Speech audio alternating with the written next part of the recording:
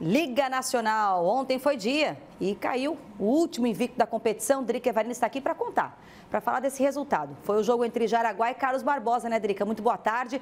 Torcida Aurinegra, então, acordou feliz.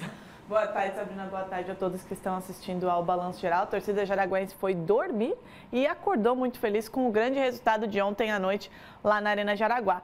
Apesar de ter sete desfalques entre os lesionados e também os jogadores que estavam com a seleção na Liga Evolução, o Jaraguá venceu o Carlos Barbosa por 3 a 2 com dois gols de Jamur, que ainda deu uma assistência para o gol do ECA. Com isso, o Aurinegro fez cair aí o último invicto da Liga Nacional. O resultado colocou o Jaraguá na terceira colocação, com os mesmos 18 pontos de Sorocaba, Jeque e Praia, mas com um jogo a menos do que os adversários diretos e um jogo a menos também do que o líder, o Pato Futsal. Agora, o time viaja para enfrentar o São Lourenço no final de semana fora de casa, o jogo que acontece no sábado. E é claro que quem vai falar aí sobre esse jogo foi o nome do jogo, né? O Alajamur.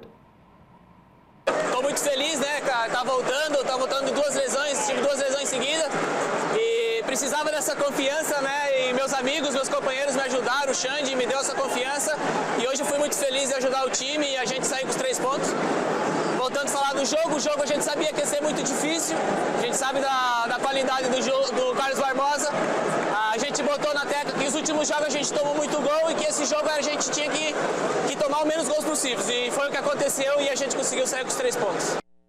É, o Jamur falou ali, né, Sabrina? Ele que veio de duas lesões, ele que é um dos reforços desse ano do Jaraguá Futsal. Já conhece o futsal catarinense, é catarinense, acabou tendo duas lesões seguidas, ficou de fora, inclusive, do jogo contra o Praia, que ele falou que eles estavam avaliando que estavam tomando gol demais, né? Acabaram sofrendo quatro gols contra o Praia e ontem colocaram a cabeça no lugar e deram um presente para o técnico Xande, que ontem foi efetivado, é. a gente trouxe a informação aqui e acabou derrubando aí o último invicto da liga. Um resultado muito importante, deixa com 18 pontos, com um jogo a menos, que é aquele jogo contra o Atlântico que ficou para trás por conta das enchentes no Rio Grande do Sul. Então, Jaraguá, muito bem, obrigado. E agora vai se preparar e vai viajar, porque enfrenta o São Lourenço lá no Oeste Catarinense no fim de semana.